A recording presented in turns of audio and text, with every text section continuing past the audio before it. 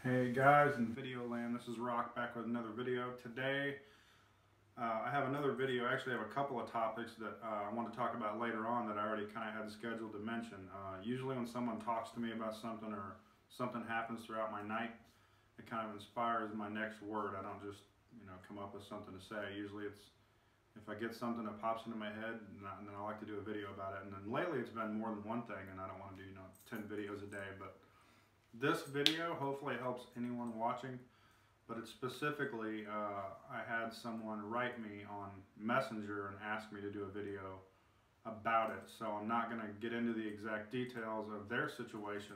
I'm going to generalize, and the person watching that uh, asked me to do this will know who they are. But um, it has to do with jealousy.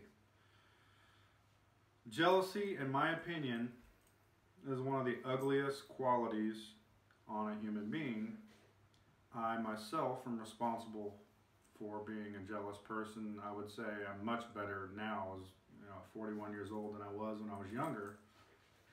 Uh, in my 20s, you know, it can affect a relationship and a marriage really bad. I mean, I think we need to first identify that as adults we are we're individuals and we each need uh, women, men need to let.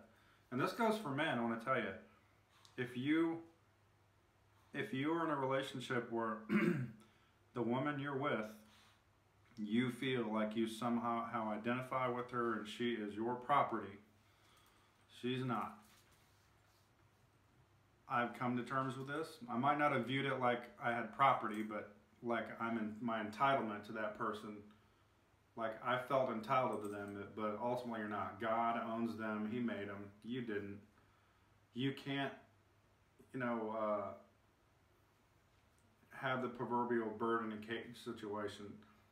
Your your presence is not a cage, and there and there's a bird. You know, there's a. I'm trying to word this right. You can't put your cage around a bird. You don't own the bird. It's gonna fly. And you need to realize that anything you do that, anything you treat that way.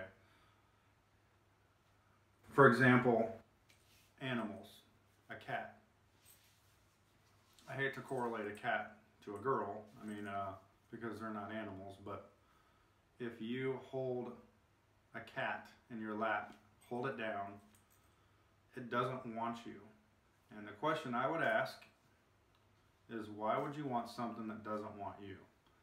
There's no enjoyment in self-entitlement. If something doesn't want you, how would you have any peace or any enjoyment or any warmth or any um, any satisfaction out of having something in your life or in your lap that doesn't want to be there. And vice versa. Why would you why would you allow yourself to be in someone else's life even if your situation doesn't really permit otherwise if you're in a situation where you don't have finances and you have nowhere to go, women, this is for women. I'm sure this happens to a lot of women you're in a situation, uh, your boyfriend, husband, whatever, is hitting you, beating you, he yells at you emotionally, rips you apart, which I've been known to do. I've emotionally been uh, hard on when you know when I was married. I admit that. Uh, but why would you allow someone to break you down to a point that you are so miserable that you don't want to wake up in the morning? I don't care what your situation is. I don't care how bad you think you have it, women, that you can't. I know that, you know, you stay for the kids, you know, if you have uh, kids in a relationship. I know that I hear this a lot that, you know, I have kids involved. And, well, that's not really a good reason because, number one, you being in a situation where you're being abused and staying in it for the sake of the children is not helping the children. Yes, if you get out of the situation, it's going to hurt them in one way or another. They're going to struggle as you will, but you're going to struggle way worse by staying in it, or you're going to be hurting. You're going to be hurt. You could be raped. You could be killed. You could be mentally destroyed and, and to the point where you never recover from it. So women, if you're in a situation like that, where you feel like there's nowhere to go, find somewhere to go. Find a church, find a friend, find a parent. I don't care what it is. If you have to, if it's bad enough where you where you feel like your life's in danger, if you have to go to the police, whatever it is, you need to get out of that situation immediately. Immediately, whether you have kids or no kids. if you are in a situation where there's jealousy involved, especially someone who happens, you know, who's very jealous, uh, that's not a good situation. And you're, and I know that men do this to women. They, they will. Uh, I've done it. They will make you feel not worthy. They will question where you, what you did on the internet, where you were when, when you went with your friends. Now there are a lot of you women out there, and men, who are doing things that are not appropriate, but it's still not for the other person to concern themselves with. They don't own you. You can't make someone want you if they don't. So I, I tend to go off subject. I really didn't have any good notes, but uh, I will. I have this one. Uh, there's a scripture in the Bible. It's Proverbs uh, 14, verse 30. It says, "A tranquil heart gives life to the flesh." I interpret that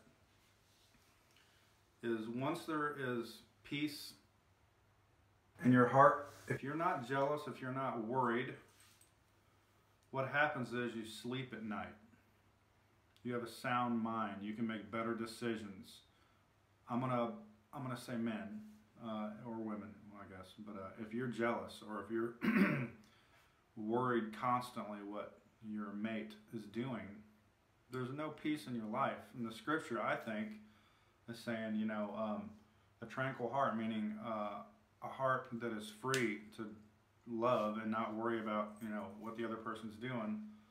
I think uh, it gives life to the flesh, meaning it makes you feel free just to live your life without wasting any of your effort on jealousy.